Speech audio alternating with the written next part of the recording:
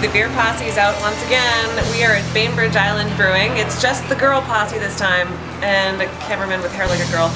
Olivia, Penelope. Let's go on inside and see what it's all about.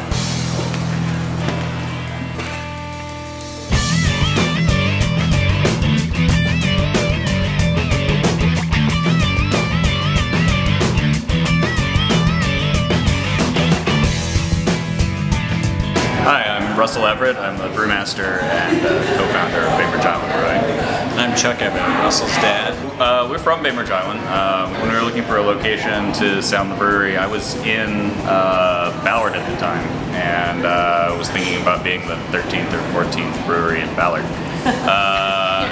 looking at the map and going, Bainbridge doesn't have a brewery yet. Why doesn't Bainbridge have a brewery? Bainbridge deserves a brewery. And so we founded the brewery here on the island. I've loved breweries all my life, so uh, that was one of my goals.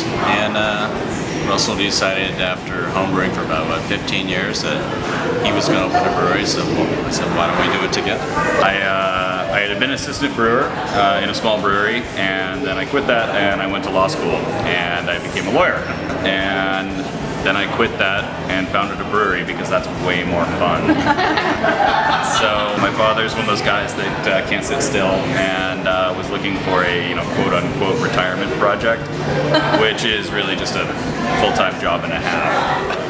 Um, well, I, I have a little bit of beer envy. I'm hoping maybe you guys would like to share. Katie's joining us now, who was nice enough to bring over a beautiful sampler. What is it that uh, that's going on? When you walk into Bainbridge, you have several options for your beer experience. We do sampler trays. We have uh, 12 beers on tap. You can come in and grab a sampler four. We have seasonal samplers. We have our winter samplers. We have um, kind of mix and match, build your own. Today we have some of our showcased beers. Whenever you're doing a, a tasting sampling is to start with the lightest thing. Um, and for us that's Commuter Kolsch. Uh, it is our German style Kolsch ale. Clean, round malt feel. Um, it's very pleasant beer to drink. It's the beer I drink at the end of the day. Um, and when it's hot out. And when it's cold out. And in between. And in between. Eagle Harbor IPA is our number one selling beer. Um, it's one of our flagships that we just led right out of the gate with. Um, last year in the Washington Beer Awards, it took the silver medal for IPAs in the state. Uh, Are you trying to kill me? Yeah, we're gonna take a major curve right here. What's the ABV on here? 9.9. Woo, Olivia, this is all you. The tallest hill on Bainbridge Island is Toe Jam Hill. Okay. And uh, so this is our annual barley wine. It's spent uh, 364 days in an oak barrel.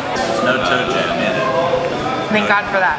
There's not a good The high ABV ones I give to Olivia the Elder, and the ones with bugs in it I give to the beatnik. I like to make uh, weird things when we get a chance. We made a beer with squid ink, Cool Ranch Doritos, nacho cheese Doritos, and then we really perfected our Cool Ranch Dorito recipe. Mashed with ramen noodles. We took the flavor packets, both chicken and oriental, put those uh, into the, the beer itself. Shot of Japanese broth and bacon flavored foam miso soup beer. Put a little like sprinkle of green onions on top. We're often asked as a brewery to make a gluten-free beer, and uh, see it as my job to turn barley into delicious alcohol. Uh, and making gluten-free beer is beyond our capabilities. Uh, but it is well within our capabilities to make a gluten-fortified beer. So we made a 100% wheat double IPA with vital wheat gluten added to it, uh, which did nothing for the beer other than just put more gluten in it for fun. That was Project Glutinous Maximus. The awesomeness here is the uniqueness of Russell's imagination and that people want the crazy fun barrel age and we have the ability to do that.